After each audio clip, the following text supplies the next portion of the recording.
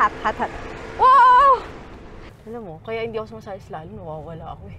If you adjust this, so umaangat to. So right now, we're gonna be doing a quick little slalom to see how the car behaves. Hindi na lang ako yung mag-charge ng phone ko like me as a on-road girly na engot-engot. Teka lang, masikap. I need to see where I'm going. Ayan. Ah, di, di, di, di, di, di. I'm just talking and you're if you're still watching, what the frick are you doing with your life? Okay guys, so today we're with the 2024 Hyundai Santa Fe. So this is already the fifth generation and it looks so different na, diba? Let's go, let's check it out. So this is the top spec variant. This is a 2.5 liter turbo mated to an 8-speed DCT. So this is the calligraphy model. It looks really good, really aggressive, and it looks so boxy na. So really nice for this mid-size SUV. Here, starting with the front, we get a blacked out grille, and we have a light bar running across the grille, H pattern LED headlights and DRLs. Tapos, I like how ano, everything is so boxy and so H with this car. So, ang daming H pattern details. Ayun, no? H dito, H din yung bumper and everything. And we also have this active grille that opens when it turns on and off. Looks so good. Okay, now let's move on to the side. We have 21 inch alloy black ink wheel. So this is wrapped in 245, 45, 21. Big boy. All-wheel disc brakes, of course. Power fold side mirrors with a repeater. So let's step back. This is what it looks like. Ayan. Ang ganda ng, gar ng black garnish sa baba, no? So nice. So, and here on top, we get a roof rail. So, dito sa taas, it can carry up to 100 kilograms of weight. And let me show you this super cute thing. So, kung gusto mo umakyat sa taas, you have this pillar assist. So, if you push this, ayan. So, you can grip it and then aakyat ka dito. And then, pwede ka na umakyat dito sa taas. So, it's hidden, no? Tingnan mo. So, ganun siya. Whoop! So cute. Very nice. Okay, now let's move on to the rear real quick. Over here at the back, nagko-continue yung blacked out stuff, blacked out Hyundai logo, and a Santa Fe script. So, you know na it's a top of the line pag nakasulat dito, 2.5T which with H-Track. So H-Track is basically Hyundai speak for all-wheel drive. So over here at the rear, we get LED taillights. Very nice. And it's not twin exhaust. I like that. I miss the nag-iisa lang and hindi OA. That's really cute. And it's super nice. So, dito yung handle ng trunk aperture. And it's a power tailgate. So, you just have to click here and it's gonna open like this. Yan. Power tailgate. What a sleigh. Tinaas ko muna yung third row. So, this is how much space we have with all the seats upright. So, chini for scale. So, mababa. Actually, tingnan mo yung lip. Pababa siya. It's not really a lip. It's actually a slope downwards. So, this is very convenient if you wanna tambay dito sa likod. Ayan, even with the third row up, it's a comfy place to be in. Ayan, it's so spacious. So yeah, definitely a tambay car. Fresco here. Tapos ito pa, tinan mo, you can rest your feet dito sa ledge. Okay, now let's close it again. Power tailgate, and this is the controls. It's over there. Ayan. So, makes life so much easier talaga pag power tailgate. Okay, now let's look under the bonnet. How do I, how do I open the bonnet? This one. Bag. Okay. Okay, so under the... Woo! Hot, hot, hot. Wow! Yes! Gas strut. That made life so easy. Ito, it's actually, ano, nag-idle siya, so mainit. So what's nice is everything is easy to reach. Air coolant is over here. Windshield washer.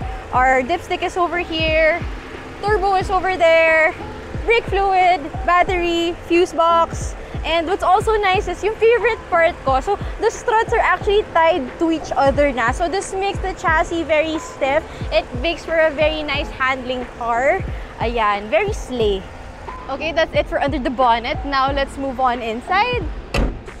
Here we have keyless entry. Ayan. The keys inside the car running, so I can't show you. So let's start with the door before I get in. So here we have memory seats. So these are power seats, by the way. And this one has relaxed mode. So you see this ottoman. Ayan. So if you adjust this, so umaangat to. So you can sleep and chill in your car while waiting for whatever or for whatever reason you might need to do that. Yes, you have that. So for the 2.5T calligraphy na model. This one is wrapped in Napa leather. It's so soft, so supple. Nice to touch. Okay, now let's get in. Alright, so this is what it looks like on the inside. So starting with the wheel, we have an amply sized wheel. So here for the wheel controls, we have our cruise control stuff over here. And then here are infotainment controls. So this one has adaptive cruise control with stop and go function. And look at our instrument cluster. It's so nice. And you can also customize this and you can also change it depending on the drive mode. Here we have a wide view panoramic display. So this is a 12.3 inch infotainment system. This is Apple CarPlay and Android Auto compatible already. So that's really nice. And moving downwards, we have our panel for aircon controls. I like that it's not in the screen, na it's its own panel. So here we have our hazard button smack dab in the middle, our volume knob, and we have our infotainment some more infotainment controls over here. And for our seats they're actually also ventilated and heated. And here we have our drive mode buttons. Again ang ganda niya kasi it's integrated to this bar lang. It's not OA so for drive modes we have the basic stuff. We have eco normal sport and my drive. My drive is basically you set like your drive mode to how heavy your steering is or basta yung customized one and as for terrain, so since this is all-wheel drive and we have terrain, so we have snow, mud, and sand. Okay, now moving downwards here, we have double wireless charging pads. So, hindi na lang ako yung mag-charge ng phone ko. Pati yung katabi ko pwede na rin mag-charge ng phone. Ayan, or charging already. So, I'll leave that charging muna. And here we have two Type-C plugs. And then you may be wondering, ano tong UVC thing? So, actually, ito, tong cubby na to, this is a UVC sterilizer. And then you're if to turn this on, you're just gonna click this and it's gonna run for 10 minutes. So since this car was designed during the pandemic, this is something they thought would be important and useful or makakadagdag sa quality of life ng people. If you're gonna sterilize something, dito siya sa cubby na to. Tapos ito ang wireless charging indicator natin. So you know if your phone's charging or not.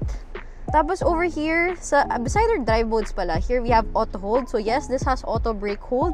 And here we have our hill descent assist. And here we have our parking camera. So if you click this, ayan. So there are a lot, like a lot of views. So there are three major views. And then after that, you have a lot of, ayan, options pa of how you wanna look at it. So, very useful. So, talagang kampante ka to drive with this car. And you know what? This has four parking sensors. So, front and rear, pati sa sides, may parking sensor. So, you're not gonna be worried na it's a big car. Okay, now moving downwards, we have two cup holders over here, amply sized. And we have this center console na box. So, what's special about this is this bi-directional. So, usually, you open your center console like this, diba? Okay, center console. Normal center console. Pero here's the magic. Sara natin. This is the magic. Pwede mo rin siya buksan from the rear. So, kunyari, meron kang uutusan sa likod, yung RFID mo nandito. Pwede mo utusan yung mga tao sa likod na sila na mag-load ng RFID kasi they have quick access, 'di ba? One thing I like about the Santa Fe is, kunyari as a driver, you wanna adjust the seat here, or may lalagay kang whatever, or kailangan mo siya usog. You actually have quick access to the power seat nung passenger mo. So, ayan, you just click that. It's moving na. Oop. You know, moving downwards, tingnan nyo to. We have a really deep cubby over here and a 12 volt socket over here. Ayan, actually, dami malalagay oh. Sobrang deep niya. How deep is your love? Ganon. So now that we've so shown you everything here in the middle, nasaan yung shifter? Andito siya, ayan. So this is column shift by wire. Hindi na siya shifter or buttons dito sa gitna. So for this one, to operate this, all you have to do is twist the knob, twist it up to put it in drive, twist it down to put it in neutral, and down again for reverse. And to park it, ayan, you have to click this. So this is the parking button. Okay, now you may be wondering, nasaan ang handbrake? So, andito siya, guys. This is the parking brake. Our traction control is also here. And our trunk opening. I just want to point out, ang cute, ang ganda nung ano, nung mood lights niya. Pati dito sa ilalim ng screen, there, there's a mood light. It's hard to see lang kasi it's really bright. So, this is also customizable. Right now, it's purple. Very bagay. So, moving to the side, again, this is the sterilizer. And then, meron ka pang cubby over here na pwede mo patungan ng gamit. And, you have your glove box over here. So, it's pretty spacious. There's a lot of storage. And I don't know if you can see it, but here we have a heads-up display. Yung the little dot, hindi siya masyado nag-show up sa camera, but meron siyang heads-up display. Pretty useful. Okay, now time for the Chini test. Dun sa sun visor, may ilaw ba? Boom! So may, may ilaw siya dito that you have to open. Ayan, so I can do my makeup. Sorry, see, na kasi bagong-bago, meron pa siyang plastic. But yes, ayan, may ilaw. We can do our makeup here. Slay. Now, moving on to the center, we have our sunroof controls. If you're wondering bakit front and rear, it's actually dun, dun, dun, dual sunroof. Ayan, for the extra aliwalas. This makes the green glass really good. So again, in, our door handle, we have our door stuff, our usual door door door controls, and also bottle holder and cubby. Okay, now let's move on to the passenger side. It's a bit warm. Okay, now moving on to the second row. Ayan. So, on our door, we have our window control, seat heater. And look at this, we have our sunshade. It's actually too bright right now, so let's put this up para hindi tayo overexposed mamaya. It's actually quite maluwag. And let me just close the door. It's a bit noisy and bright. Okay. So over here, we have this much knee space. So this is with my regular driving position. So, super liwag pa actually. And as for the headroom, ay whoop! That's a lot. Whoop! Here at the second row, it's actually quite spacious. Here we have our center armrest, cup holders. So, you may be wondering, kasha bang third person dito? Yes. Wala masyadong transmission tunnel hump, which I like. And again, let's appreciate our bi-directional center console. Ayun, tingnan nyo, pwede nga talaga natin buksan from the rear. So that's really special. And ito, pag may tatago kang stuff, meron ka pang drawer cubby dito. And look, ang lalim mo. Tingnan mo, tingnan mo. Let me put my phone inside for scale. So, this is how tall my phone is. Ayan, ganun siya kalalim. That's crazy. Over here, we have seat pockets. And here's our front seats. We get two Type-C outlets for the passenger and driver side. And looking at the door, the material, and daming soft touch material. And I love the mixed material, like this brushed finish, blacked out door handles. Oh my God, nabuksan ko. Wait, sara ko lang. Ayan. Oh, look at that door thought. That sounded so good. And we have a bottle holder over here. So here we get two cup holders so you can have two sorts of drinks. And for privacy and for against the sun, we actually get a sunshade. Oh my God, andito si Editor San. So usually, hindi tayo maabot sa likod, but the Santa Fe has a third row. So let's go check it out. Okay, for this one, you have to get out, fold the seat, and get in the third row. So to fold down the seat, you just have to click this. Whoop! Ayan. So not much legroom dito sa third row if naka full recline. Ayan. This is how tight it is. Pero if the compromise, if the second row compromises with you, may legroom din naman. So here at the back, we have our very own aircon controls. Two cup holders, just like the second row. Per side, by the way. And aircon tayo. Init eh. Oh my gulay, the rear AC. This is a sleigh. And we also get a Type-C port here. So, di ba? You can charge your devices. You can chill here at the back. Just really a bit tight. Okay, now if you're wondering how we're gonna get out, all you have to do is click this button and the seat's gonna go back to the folded position. Ayan. So, naka-release position na tayo. Labas na daw tayo. And then door handles easy to reach. Ayan. Easy to get done by myself pa rin naman. Ah! Okay, slay. Okay, so that's it for walk around. Now, let's go to the driving part. Alright, so right now we're driving the top spec. So this is the 2.5 turbo calligraphy. And, oh my god, palaban, ang lambot. So first of all, ergonomics, it's so easy to see out of and we have a lot of 360 camera features and it's super easy to tansya. Kahit big boy siya. Oh my god, ang comfy nyo. Walang masabi, ang comfy. Tsaka super tahimik. And VH is really good. Makoy, kamusta ka dyan sa likod? Hindi ako nahihilo here, in all fairness. Ganon. Oh, see guys. So comfy. And honestly, the interior feels like it's a premium Euro car. But this is the Hyundai Santa Fe. So for the 5th gen, they really leveled up with this car. So the suspension is super compliant. It's not underdamped at all. Just right. The shock is tuned to the spring so well. Alam mo yung car na wala ka masabi kasi tuwan-tuwa ka lang sa driving experience. This is one of those. So as for the engine, this is a 2.5 liter turbo. So this is the only variant that comes with a turbo. So the two other variants are 2.5 liter NAs. And apparently they're gonna be releasing a hybrid model later this year. So I'm super excited for that. So this is mated to an 8-speed DCT. So that's gonna be super quick shifting. Well, we can try right now. We're off-road, diba? And yeah. So this comes in at 3.1 million. For the price, you get a lot of features. Teka lang, masikap. I need to see where I'm going. Ayan. Tapos meron ba tayo 360 view? Oh, tingnan nyo. So, the, really, this car is very confidence-inspiring and all the tech just makes it all the more easier to handle. Like, I can just hand this to my sister level of confidence. So if you guys like this video so far, like, comment, subscribe, or you, if you can also follow us on our other socials, we're on Instagram, Facebook, and TikTok. As for our terrain modes, so we get snow, mud, and sand, and we also get auto. So siya na bahala mag-adjust. So that's really useful, lalo na if you don't really know what you need. like me, as a on-road girly, naeengot-engot.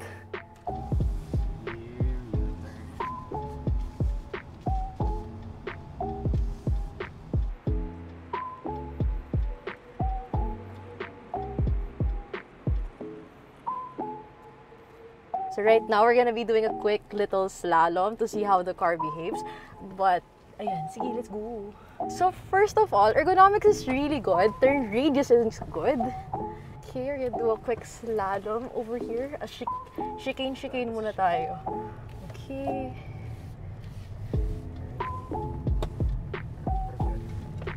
So not much body roll. I really appreciate that. Ayan. Wow. Actually, so so stable, so planted. Shock spring combos amazing. So comfy. Feeling ko ano, pag ano, pang tita car ko to. Pero ano, cool tita ako dito. Okay. So, we're gonna do an acceleration and braking thing right now. So, this is 2.5 liter turbo mated to an 8-speed DCT. Ayan. Drive mode. Ay, I go to sport. yeah, sige, sport mode. Wheel. Yeah.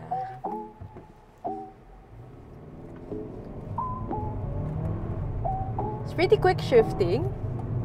Hard brake. Hard brake. ABS is also pretty good. That was solid. Tapos nag-hazard siya when you emergency brake. So this is to tell people behind you, oh, wait, I'm emergency stopping. Like, this is a lot of braking that's happening. Ayan. And then it goes off when you're okay na. Feels good. So, on-road, it's really good. It doesn't feel like such a big car. Like, visibility-wise, it, ano, you, you see everything. You have cameras to assist you, parking sensors.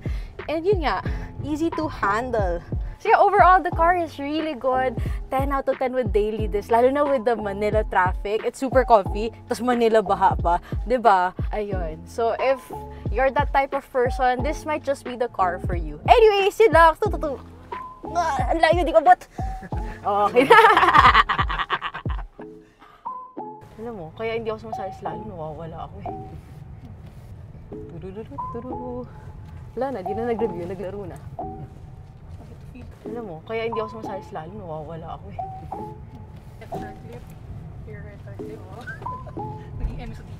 Uy, naklip ko yung ilalim ng hanap item.